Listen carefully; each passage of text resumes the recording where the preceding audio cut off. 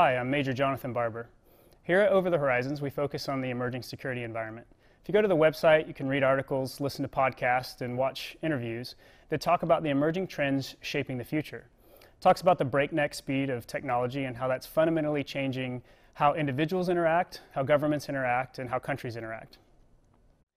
We kind of take all of this and look at it through a lens or a paradigm, a framework, to decide what kind of capabilities do we need to produce? How should we react to adversaries? How should we co opt friends? Uh, some of these paradigms are outdated. Uh, some of them we know they're outdated and we need to change them. Some of them we don't know they're outdated and that's dangerous. Uh, all of this put together exponentially increases the risk as we go forward to the decisions that we make and the directions that we take as a nation and as a group of nations. There's one thing, however, in all of this that doesn't change, and that's human nature. It's, we know that we all have a mind, a will, and emotion. And we've seen through history that humans have a great capacity for evil and they have a great capacity for good. To harness that good and to bring it out, uh, for humans to meet the improbable or the impossible and to overcome it uh, for good takes leadership, takes teamwork, takes character, and it takes uh, the right value based system that you ground all that on. If you listen to General Quast's uh, video and, and his interview, he talks about how there's still heroes among us and there's still a great need for heroes. Uh, they're often not people who stand out as much as they're great leaders and they're great teammates that help do all this and, and make it happen. One of those heroes is with us here today. His name is Gene Kranz. Uh, he was a fighter pilot back in the F 86 days, a test pilot, and then he worked for NASA as a mission commander. Throughout the Apollo program, uh, he was a mission commander, first for Apollo 1, where three of our astronauts and three of his friends burned to death on the launch pad in, in, in an operational failure. Uh, he talks to us about the lessons learned from that. And then ultimately, he was the mission commander for Apollo 11, where mankind, in probably its greatest feat, put a man on the moon and returned him safely to the Earth. Uh, furthermore, it was Apollo 13. He was the mission commander. If you've seen the movie, he's the guy the, with the vest, um, the leader of, of that whole team to take three astronauts in a stricken spacecraft uh, abandoned in outer space with pretty much all odds against them, and safely and successfully return them to the Earth. Gene talks to us about what it took to accomplish this uh, and what it takes to take a team, put them together, to face the impossible and to overcome it. I hope you enjoy it. For we meet in an hour of change and challenge, in a decade of hope and fear, in an age of both knowledge and ignorance. The greater our knowledge increases, the greater our ignorance unfolds. No man can fully grasp how far and how fast we have come. But condense, if you will, the 50,000 years of man's recorded history in a time span of but a half a century. Stated in these terms, we know very little about the first 40 years except at the end of them, advanced man had learned to use the skins of animals to cover them. Then, about 10 years ago, under this standard, man emerged from his caves to construct other kinds of shelter. Only five years ago, man learned to write and use a cart with wheels. Christianity began less than two years ago. The printing press came this year. And then, less than two months ago, during this whole 50 year span of human history, the steam engine provided a new source of power. Newton explored the meaning of gravity. Last month, electric lights and telephones and automobiles and airplanes became available. Only last week did we develop penicillin and television and nuclear power. This is a breathtaking pace, and such a pace cannot help but create new ills as it dispels old. So it is not surprising that some would have us stay where we are a little longer, to rest, to wait, if this capsule history of our progress teaches us anything. It is that man in his quest for knowledge and progress is determined and cannot be deterred.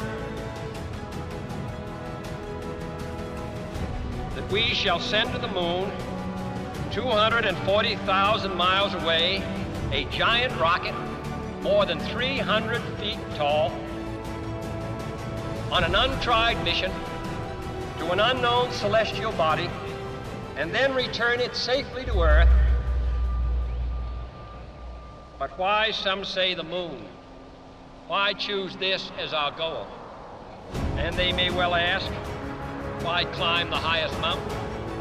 Why, 35 years ago, fly the Atlantic? We choose to go to the moon. We choose to go to the moon.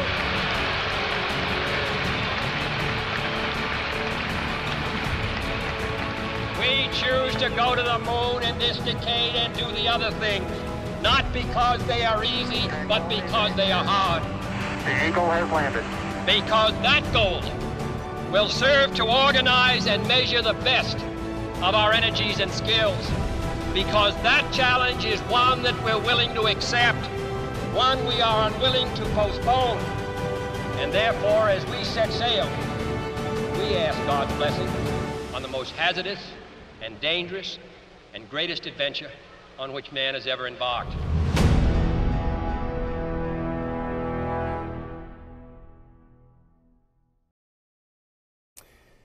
So, Mr. Kranz, where were you when you saw that speech and what went through your mind? The uh, speech, the, the impact was almost immediate because one month prior to speech, we had uh, blown up our second Atlas rocket. Uh, we had launched Alan Shepard two weeks earlier, and uh, so we had a total of 20 minutes manned space flight experience. We'd never been to orbit, and we were uh, challenged by President Kennedy to go to the moon. And uh, for the first few days, it was just, this guy just doesn't understand. But then I think it came not only to myself, but to the entire uh, team at the Space Task Group that, my God, this guy trusts us. Look at, look at what he is asking us to do. We're going to go to the moon, but we got to learn and we got to master all aspects of spaceflight. We got to do it within the next eight and a half years. So the uh, the uh, challenge was uh, was very dramatic, but it was uh, the stimulus I, we needed. We needed because we had been very unsuccessful in 1960. Uh, roughly, uh, roughly about 30 to 40 percent of our missions failed, and they very they failed very spectacularly. So we were just in the process of getting on track with Alan Shepard, and we were celebrating Alan, and then we get this mission to go to the moon.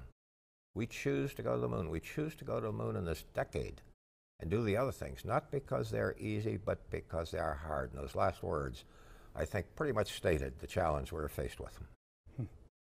Now, here at Over the Horizons, we really try to focus on the next decade and the uh, problems of the emerging security environment and how do we provide security for the American people. Um, a lot of the challenges there can sometimes seem insurmountable. There's a lot of complexity. It's downright scary sometimes when you look at these not so unlike the 1960s. So you were faced with a seemingly impossible task. At the same time, we had social unrest. Uh, we had Vietnam starting and then and that going on. So you have some individuals um, flying in Vietnam, some individuals over there in the mud, some in, uh, in as POWs for up to eight years. And then you had some of those same people branching off into NASA um, to create a team to face that insurmountable task. So could you tell us what did you guys do to forge a team to try to, to do this, um, to take the kind of risks necessary, and to come together and overcome these tasks or these challenges? The, uh, the, the most important aspect we had, we're in a uh, significantly different environment than we are today. Uh, the majority of the US, uh, members of the U.S. Congress basically were warriors that finished with uh, World War II in Korea. The media, we didn't have Fox or CNN or any of those instant news networks, so we had time to really pull our thoughts together and, and tell the story. And the media in particular was uh, very, uh, very forceful, but uh, very honest. And the entire space program, which was, uh, which was one of the greatest challenges, was basically totally open to the public. And this is one thing that we had to get used to. I, uh, in mission control, I could look over my shoulder and I could see the news commentators from radio, TV, and uh, newspapers. Uh, we'd have uh, press conferences after each one of the missions. So, so we were now communicating what we were doing to the public, what we were doing and why. And that was one of the unifying factors is that we recognized that we were part of a much larger mission uh, the Cold War was very real to me. It was Cold War was real to many of the, my compatriots. Others that came in from uh, college uh, they were looking at this as the greatest challenge since uh, canned beer. Uh, basically, the president wanted to go to the moon, and we were going to do it. So we had the a culture of, uh, of challenge. We had the culture that led us to establish uh, the motto that we used in mission control, which is achievement through excellence. And we established the four standards discipline, morale, toughness, and competence, were the qualities that as individuals would allow us to come together as a team. Now, the, one of the greatest aspects of the team building was in our mission preparation work. We spent uh, roughly about a third of our time in preparation for each one of the space missions, developing our overall risk strategy. We can call it the mission rules, where we would take and take and decompose every one of the spacecraft systems, what could happen in that thing for every phase of the mission. Uh, this would basically emerge from the lower level. We'd give them the overall strategy relative to how far we wanted to press, how we wanted to use the redundancy, but then they would start giving us the piece parts. And this debate between the flight directors and the team members really allowed us to come to a very complete understanding of the issues that we face, the risks, and also the benefits as we step forward into the unknown. Uh, the mission rules, we then continued the communications with the astronauts, the crews that we're flying. So by the time I got ready to fly, basically I knew how my controllers thought, they knew how I thought. We could communicate this effectively to the crew, so we didn't have much time to react. Uh, we knew that this uh, particular direction that we were going had been uh, very closely vetted. And basically, that was the best decision we could make given the few seconds to the minutes we had to work on it. If we had a longer period of time, we knew, again, the bottom line for each one of the controllers and the crew. So the mission roles, I think, were one of the unifying processes. The, I assumed I was the uh, branch chief and then division chief in flight control. And uh, I had the responsibility for all the controllers that would be faced with the program. So establishing the, the uh, standardization for our training process I couldn't get it from a contractor, so I decided to do it myself. Every product, I, I worked in aircraft flight test for two years, and when I went aboard an aircraft and we were flying an aircraft, basically I knew everything that was in that bomb bay. We were basically developing the capabilities to allow the B-52 to penetrate Soviet airspace. Well, I took the same approach in working with the members of my team. Mm-hmm. I wanted absolute correct, concise, crisp knowledge of every one of the spacecraft systems and everything that we intended to do, and I wanted that communicated throughout the team. And as a result of the working level in preparation for a mission, we started coming together as a team. The training team we had basically was, again, a cadre of mission controllers whose job was to defeat the flight control team. Mm-hmm. And so it was this, this, what a basic antagonism that we needed to drive us achieve the highest level of performance that was humanly possible. And we had an instructional team that was driving us to that point. It was amazing the, uh, the scenarios that they would develop because we would come together individually, flight controller, flight director, but I also had to bring the astronauts in. So it was a question by the time we got ready to fly, we were capable of making 100% correct short term, crisp decisions that basically acknowledged the risk we had. We also acknowledged the gain from each one of those steps that we would take. So it was a continual process of translating risk versus gain. Uh, for instance, during Apollo 13, uh, the real challenge was I had the opportunity to do a direct abort, come back into Earth's atmosphere, and be back home within a day and a half. But to do that, I'd go from a very risky plateau where I was embedded in a serious problem, and I would have to move into a perform a maneuver that if I didn't do this perfectly, there was a good chance I'd impact the moon. So it was a question of making the decision to buy time and the trust I had in my lunar module team that I said, I know these guys, I know the spacecraft, I'd flown it four times previously. We will find a way to bring this crew home. And that was basically the thought process, not only permeated my team, it was every team that worked in mission control. One of the great aspects of it, our bosses came to us and said, How can we help you? They let us carry the ball. They knew we were the best qualified to do that thing. And they were on the job, I mean, figuring out some way to allow us to have the freedom without, they'd cover the media for us, they'd cover the headquarters people up in Washington. They were our blocking backs that allowed us to carry the mission off. So you, you're talking about, it sounds like you have an organization with a lot of trust, which enables great communication amongst all the diverse perspectives, which give you a solution and also a capacity to handle uh, the unknown or emergencies or uh, rapid decision making. How, what are some of the things as a leader, as the mission controller, that you helped enable that kind of an organization? Well, I believe I believe teamwork starts at the very top. You need uh, a known leader. You, ha- you have to be, you have to carry a reputation for it. Your reputation basically is your entry into team building.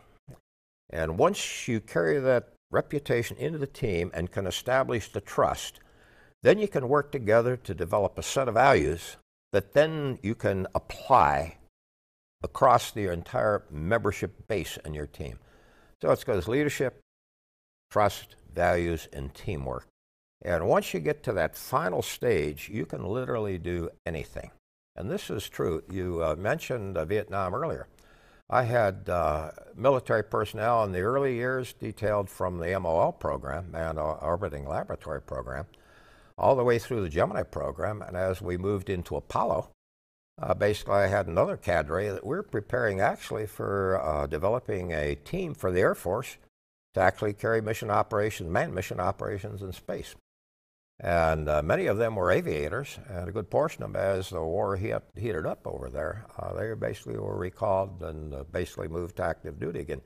So we had a very close relationship to the people that had been working with us that were now fighting the battles overseas, which was uh, uh, really, I think it was, it was, a difficult time for many of us because we knew what they were facing over there. Mm-hmm. Uh, we had our job, and we were both fighting a war. We were fighting for the war in space. They were fighting over in uh, Vietnam. Now, when you say well, you're talking about leadership, and it starts there, and then you get down to values. Uh, America's been incredibly blessed in that we're very materially wealthy. Uh, we've been wealthy in experience, wealthy in knowledge, our society. But when we talk, we don't talk as much, it seems today, about being wealthy in character, wealthy in values. Mm-hmm. Uh, something we all know is important, though. What are some of those values that you, as a leader, or that you, as a team, that you're trying to embed to make sure that those are there to enable everything else? I believe one of the uh, the singular event that I believe uh, moved the teams in mission control from damn good to excellence came about as a result of the Apollo 1 fire. Uh, I had worked in flight tests. Several of the flight directors I had had been uh, military aviators. I had been a military aviator. And, uh, but many of the young people we had had never gone through that kind of a trauma to lose a crew and listen to our crew die and hear their final seconds. And it was, uh, I called uh, my team, I had roughly about 300 people at that time, my division together. And basically, it talked about the nature of flight tests, the nature of risk, and what it would take to succeed. And uh, identified that uh, the day of this fire, none of us, we could have called off that test. The people at the Cape could have called it off. The crew could have called it off. No one assumed the responsibility to take the action to say, this is not the day we should press on with this test. We're not ready. And uh, wrote two words, put two words in the vocabulary tough and competent. Tough meaning we always assume responsibility for whatever actions we take, whether we take them or whether we avoid taking them. And in the case of the Apollo 1 fire, we could have shut down that countdown, we didn't. Competent. We assumed that operations in a 100% oxygen environment is safe. That is not true. Okay? We had stopped learning. We had stopped understanding the nature of this environment work, and from now on, the teams in mission control will be perfect. And I told my people to write those two words, tough and competent, on their blackboard, and they would not be erased until we had completed the Apollo program. I think that there are certain events that provide the opportunity. In my office, you talk about risk earlier. I had uh, basically the pictures of the missions where we weren't good enough. Okay, I had the Apollo 9 where basically we darn near lost Gene Cernan during an EVA. I had pictures of the early Atlas explosions that we had. I had problems associated with the Apollo 13 spacecraft. So basically I looked at these. There was a constant reminder that our business is managing risk and doing it to the best possible, in the best possible fashion we can. We wrote uh, a set of standards that we call the Foundations of Mission Control. It talks about discipline, morale, toughness, competence, commitment, teamwork. But it had one statement in there that was very applicable to the young people we had, new, new people coming in the, into the organization, that said to always be aware that suddenly and unexpectedly you may find yourselves in a role where your performance has ultimate consequences. And this was, I think, very important for the new people coming in because I always thought, well, I can, uh, I could, somebody above me is going to make that decision, but that isn't the way it is. It's, I wanted you, the new employee we got, to really accept this responsibility from the day you start training until the day you're fully operational. Uh, so the Foundations of Mission Control is a series of statements that we carried all the way through the program, and it lasted for almost 50 years. And finally, after the Columbia accident, we added one more element to that foundation is called vigilance. Because basically, we should have been on top of the problems that we had in a, the Columbia mm-hmm. accident when we had that debris hit uh, much earlier and gone on top of it and maybe taken some different direction. One thing we talk about in the military quite a bit, our senior leaders talk about, is the ability to take risk. So it's easy to become a risk averse you know, organization. It's easy for NASA to become a very risk averse uh, organization how you guys were allowed to take a lot of risk. You were allowed to fail. We talk about being allowed to fail, mm-hmm. but how do how do you turn that failure into into success later on? And then what does it mean to be allowed to fail? You know, how do you think the senior leaders connect with the operators to do that? The uh, first of all, you have to accept the fact that risk is the price of progress. I don't care whether you're trying to make money in the stock market or you're trying to put a man in space. It has a, an element of risk that if you want to move forward, you have to accept that. And the key thing is, is to accept the responsibility personally that I am going to sign up for this and I'm going to communicate what I'm willing to do to my people and get them to come in and share this. Risk, risk, the management of risk I look at in today's world as a team process because as fast as we're moving with the technologies we've got, with all the very rapid decisions, uh, very few people are capable of making the 100% correct decision all the time. So it's really a question of embedding that responsibility within the members of your team. And mission control, basically, I had a team in there, and my principal job, my greatest lesson that I had learned through the training process is to become a good listener. Uh, I would make, I would get ahead of my team. I'd make decisions that I should have had them make, and that is uh, that is demeaning. It defeats the purpose of building a team. So uh, the training, uh, the instructors we had uh, singled me out and uh, taught me some very rugged lessons. I'm a Catholic, and in mission control. Uh, our debriefings always start off at the very top level where you have to explain what you did and why you did it and identify where you were deficient in doing that.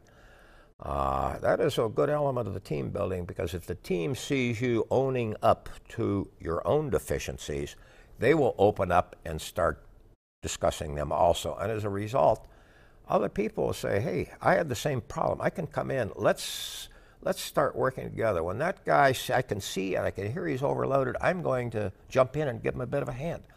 So I think that the, the process of training, debriefing missions, assuming the personal responsibilities uh, that go with risk taking, are, I think, very important in being able to succeed in a high risk environment. Uh, we're fortunate because we had a very clear mandate in mission control. The flight director's job no ambiguity to take any actions necessary for crew safety and mission success. We knew as flight directors that there was no one above us. Okay, that was our job, and we had been given the job, and it would be supported by our top level management. And I believe this was true as we went down into the ranks. Each one of my systems controllers on the console had the responsibility for giving me a 100% correct, definitive answer to whatever problems we were faced in there, addressing the known risks of that path that he would recommend. Uh, the training process was very rugged, very realistic. And by the time we got ready to fly, we knew each other personally. We were a relatively small team. We were like one of the ones that you look for the special operators. Mm-hmm. Uh, basically, we had that kind of relationship in there. Uh, I had a uh, mission where one of my controllers was involved in an automobile accident. I had a, a flight surgeon who basically was Canadian and basically had uh, taken care of Canadian hockey players after the game. So I set him out, so he jumped in there. But the, the, the team relationship was really the ultimate key to our success, combined with the ability that we were given, the challenge, the responsibilities we were given by our management. There seldom did we ever get overruled uh, by our leadership. One of the other things that was interesting in mission control is the flight directors always came from the ranks of the teams. For over 50 years, every flight controller was selected from membership in the team. And you do this because you want an individual with a good decision track record. You want an individual capable of coping with the stress. You want an individual who can build a team. You want an individual who's a good listener. You want an articulator because when times get tough, you know, when we went down to the moon, uh, I had the responsibility for that landing. And my final words to the team as we had acquisition spacecraft, then we came into this room as a team and we will leave as a team. I will stand behind every decision you will make. And that was a very difficult uh, period because one of my controllers was faced with a series of computer program alarms that were totally unexpected. And he had to make the calls to say, we're go to continue. And he made them right on track. And it was recognizing the significance, that the importance of the work that he was doing, but in particular, his role in this decision process and accepting the risk to make that decision. Uh, it was, uh, I think, an incredible time in the life of many of the controllers to experience this. The uh, space program, uh, none of the missions were ever easy. And probably one of the most uh, important missions we ever faced was Apollo 14. We were getting ready to go down the moon, and we are in a final pass around the front side of the moon. And one of my controllers sees he has abort indication on his console. Now, that shouldn't be there. If the engine had been armed, that would have been a bad day. Checks with his back room. It's a valid telemetry bit. Goes to the flight director and say, Flight, will you have the astronaut hit the abort switch with the flashlight? And the abort indication went away.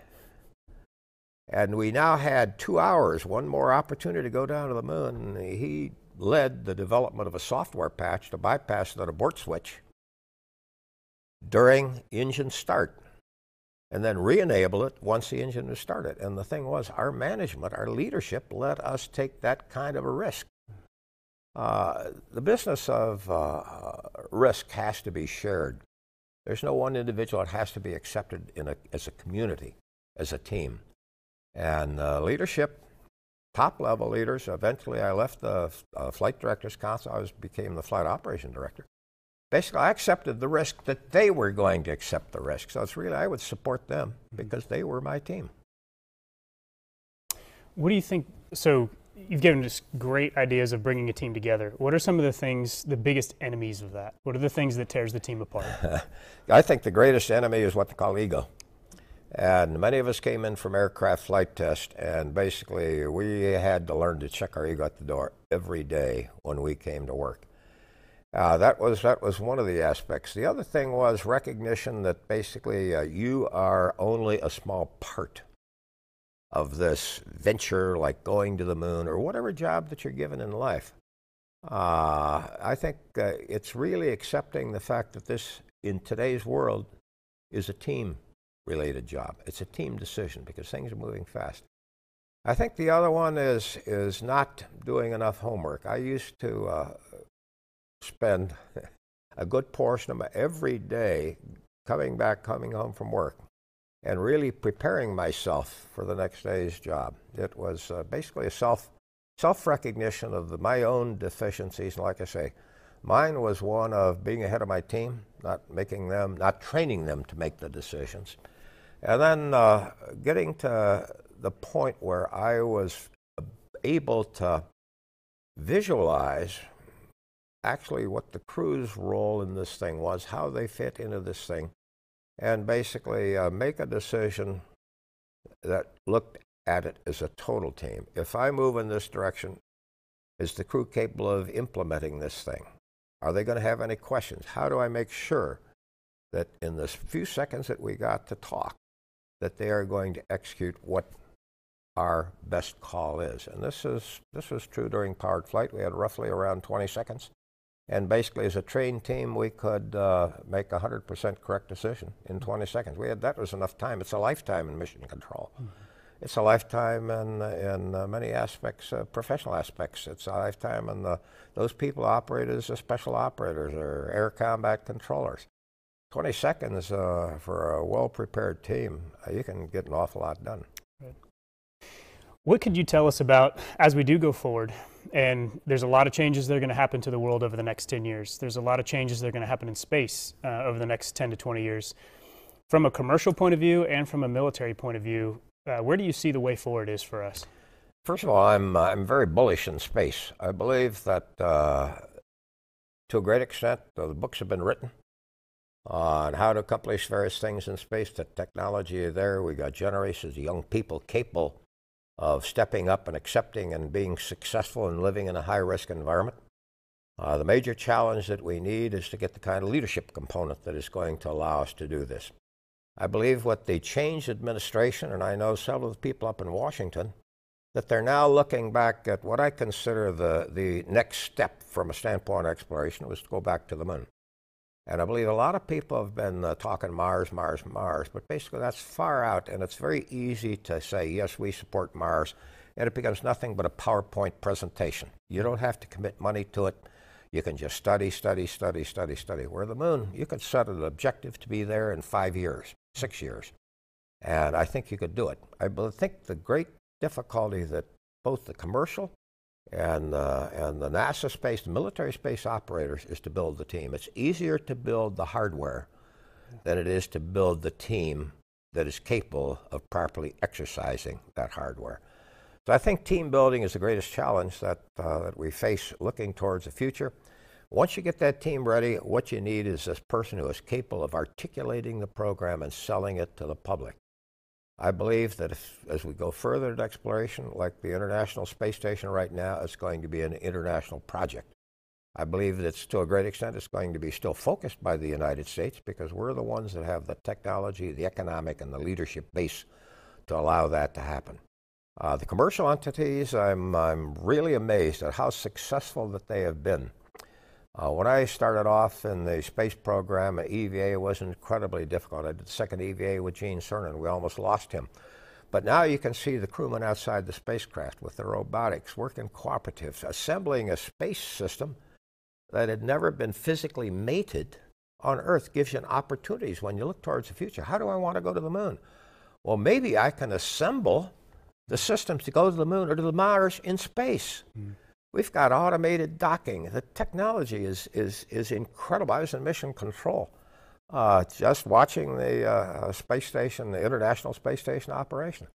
And I'm dazzled at, at their ability to do things that, that we could only dream of decades earlier. I mean, this, this, is, this, this is the future, and it is important that we recognize that we have to keep moving forward. We have to take the risks to be bold, take big steps, and I believe exploration is one of those steps that is necessary because as a nation, risk is the price of progress, but also difficult missions force the emergence of new cutting edge technology. And I believe that as a nation, we're going to be able to provide for the economic, we're going to provide the economic foundation of our nation through high technology that is not easily replicated. Basically, I believe that space has many reasons. We've got to inspire the young people to sign up for science, technology, engineering, and math. So there's all kinds of reasons to go into space, but I believe that is exploration is part of human nature. We want to challenge boundaries. We want to challenge ourselves. We want to challenge our organization. and I believe we're capable of doing that. And I'm looking forward to the coming years. Uh, when I uh, when I finished, I was flight director for the final launch off the surface of the moon, and I believed in my lifetime I would see Americans back on the moon again. I don't think that's I won't see it. I'm too old right now, but I can only pray now that my children and their children's children will again see America plant our flag on the surface of the moon. And to drive the point home, how many computers did you guys have when you uh, were doing Apollo 11? Putting you know, you know, was it? That's interesting. The uh, the uh, when we started off in, in Gemini, uh, we had the first uh, solid state computers ever developed by IBM, and they didn't trust us to operate and have them in mission control. They put them 700 miles north of the Cape yeah. at Goddard Space Flight Center in Greenbelt, Maryland. Our communications backup communications was Morse code. Right. So basically, we were, uh, had to be as adept at Morse code as we were in the spacecraft systems. Uh, the computer that we went down to the surface of the moon with was a 64K machine, 16K erasable, one cubic foot in volume, and weighed 70 pounds. Yeah. Try to carry that around in your wrist there. Right. So this is uh, the technology is there, the people are there, uh, everything you need is is ready. What we need is somebody to say, "Let's go." And the one thing that hasn't changed is, is human nature and the capability of humans uh, to come together to, to display values, leadership, come together as a team, and accomplish the impossible. So I think there's so many lessons we can take from the amazing accomplishments that you and that, that group of people at NASA accomplished um, and that your generation kind of showed us. So we really appreciate that. Thanks so much for coming, talking to us. Um, really enjoyed it, and it's an honor to have you, sir. Great. Thank you very much, sir. Yes, sir. Have a good one. Thank um, you. Come uh, to join us at Over the Horizon, MDOS.com for more conversations on the emerging security environment and how we can handle it. Thanks for joining us.